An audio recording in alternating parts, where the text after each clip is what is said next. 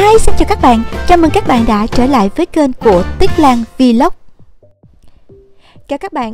Hôm nay mời các bạn hãy cùng Lan với và em Hậu tiếp tục vi vu khám phá phố phường Hà Nội cũng như là ẩm thực nơi đây nha. Hà Nội thì các bạn nhìn thấy đấy, có rất là nhiều con đường cây xanh bóng mát rất là đẹp luôn. Lan rất là thích đi với những con đường xanh như thế này nè các bạn. Hôm nay Lan với em Hậu sẽ cùng đi thưởng thức một số món ăn nổi tiếng của Hà Nội và mua một số đặc sản về làm quà cho người thân nha. Mời các bạn hãy cùng đồng hành với Lan và em Hậu nha. Đây là điểm đầu tiên mà Lan và em Hậu sẽ ghé đây các bạn. Đây là con phố đi bộ vào cuối tuần. Đây là phố Tràng Tiền nha các bạn. Và đây là chính là tiệm kem Tràng Tiền rất là nổi tiếng ở Hà Nội. Mỗi khi ai đến Hà Nội cũng đều phải thưởng thức đến cái món kem này đó các bạn ạ. Và theo như em Hậu giới thiệu và là cũng có một số thông tin thì tiệm kem này nghe nói là đã ừ, bán cho một cái tập đoàn nào đó rồi và mới sửa lại với không gian rất là thoáng như thế này. Kể cả logo của kem Tràng Tiền cũng thay đổi luôn đó các bạn. Mời các bạn cùng khám phá à, tiệm kem Tràng Tiền nó như thế nào nha các bạn thấy không? Rất là thoáng xây một cái một cái không gian như thế này à, chứ không như những cái tiệm kem mà chúng ta có bàn ghế ngồi các bạn ạ. À. như thế này chúng ta rất là dễ chủ động và có thể à, di chuyển cũng dễ hơn. Đây các bạn nhìn thấy không? À, nhân viên ở đây đang làm cái món kem ốc quế đó các bạn. Ở đây nha các bạn biết không? Kem tràng tiền thì nổi tiếng á, là theo được um, giới thiệu á, đó là chính là kem đậu xanh và kem cớm nha. Tuy nhiên, Lan và em Hậu lại thưởng thức hai món kem hoàn toàn không dính gì tới hết. Bởi vì lúc đầu á, mình không biết.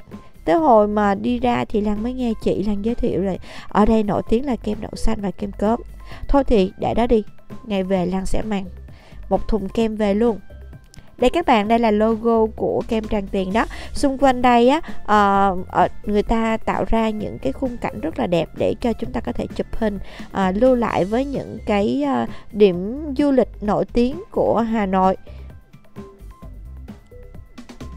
Các bạn nhân viên ở đây làm thật là thành thục và điêu luyện các bạn nhỉ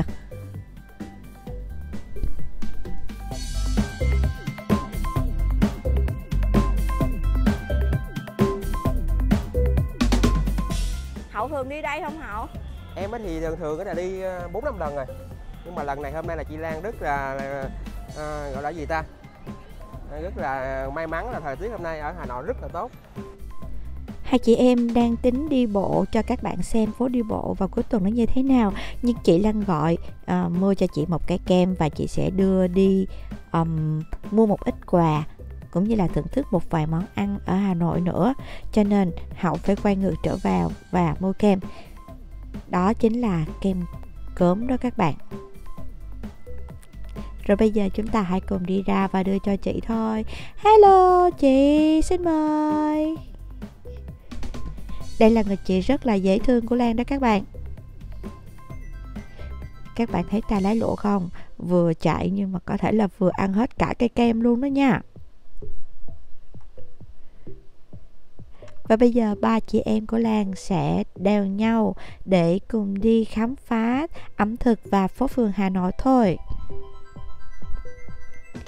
Đây các bạn, đây là nhà thờ lớn đó các bạn ạ. À. Rất là nổi tiếng ở Hà Nội với phong cách rất là cổ điển và đẹp các bạn nhìn thấy không? đây là một nơi lý tưởng để chúng ta có thể đến tham quan hoặc là các đôi mà chụp hình cưới á, hoặc là các bạn nào thích chụp hình mà với phong cách nó hơi tay tay chút xíu, chúng ta có thể ra đây nha Lan cũng tranh thủ làm vài tấm ghi lại kỷ niệm ra Đà Hà Nội rất là nhiều lần rồi, nhưng đây là lần đầu tiên Lan đến với nhà thờ lớn đó các bạn ạ à. Và bây giờ chị sẽ đưa Lan và em Hậu đến đây để mua ít quà về làm quà cho người thân cũng như là bạn bè nha các bạn. Đây là nơi mà Lan rất là thường đến mỗi khi ra Hà Nội và mua mứt ô mai hay sấu gì đó hay là hạt, đậu phộng húng liều quá các bạn, về biếu cho người thân và gia đình. Và điểm tiếp theo nữa chúng ta sẽ đến đó chính là nơi mà Lan sẽ đặt bánh cốm để ngày hôm, ngày mai Lan về, Lan mang về đây là một trong những cửa hàng rất là nổi tiếng tại Hà Nội. Các bạn có thể đến đây nha. các chị ở đây cũng rất là dễ thương luôn và rất là thật tình các bạn ạ à. nhờ vậy mà Lan mới biết là bánh cơm có hai loại và như thế này đây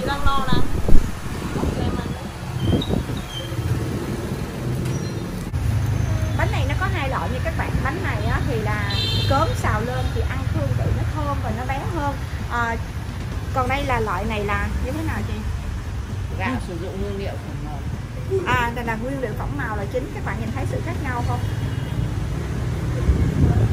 Để ra ăn thử nha. Ừ. Đúng là khác rồi không? Một kinh nghiệm chia sẻ cho các bạn nha. Giá hai loại bánh này trên lệch không nhiều đâu các bạn.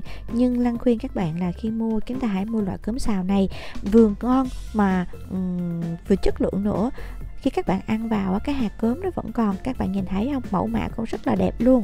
Ở đây ngoài bánh cốm còn có các loại bánh mứt nữa nha các bạn. Như chị Lan thì chị giới thiệu Lan mua bánh cốm thôi. Bánh này chúng ta để chỉ được 3 ngày thôi, nên các bạn lưu ý nha.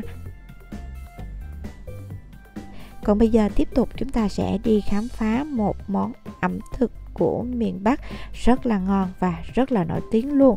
Không biết các bạn có biết đến cái món này là món gì không? Nhưng đây là lần đầu tiên Lan được thưởng thức. Đó chính là món gì và các bạn cùng đi theo nha.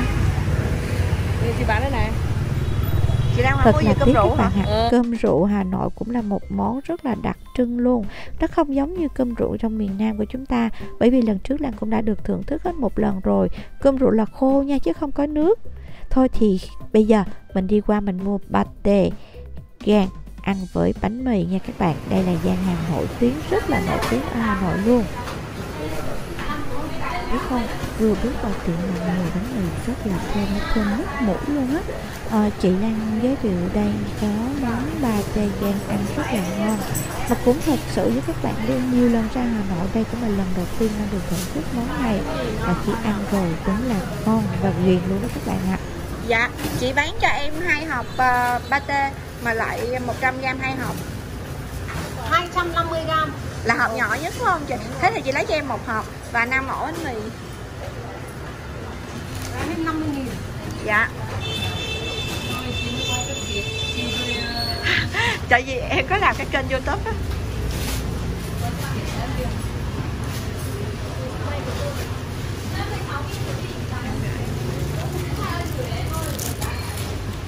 Quay lên mai không nổi không chịu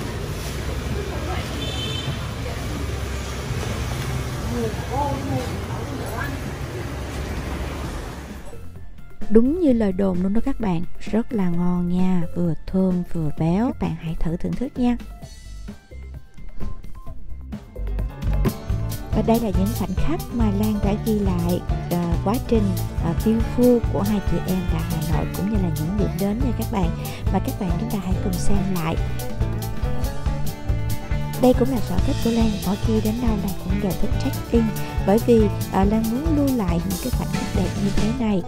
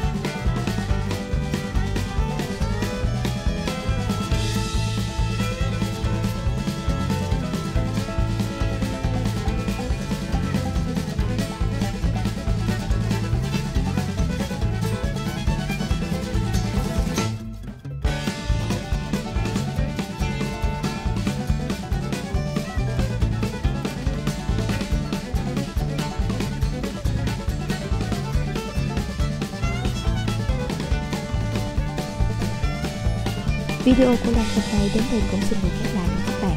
Cảm ơn các bạn đã quan tâm theo dõi. Nếu như các bạn thích video thì đừng ngại gì tặng cho Lan một like, chia sẻ cũng như là đăng ký kênh ủng hộ Lan nha. Cảm ơn các bạn rất nhiều.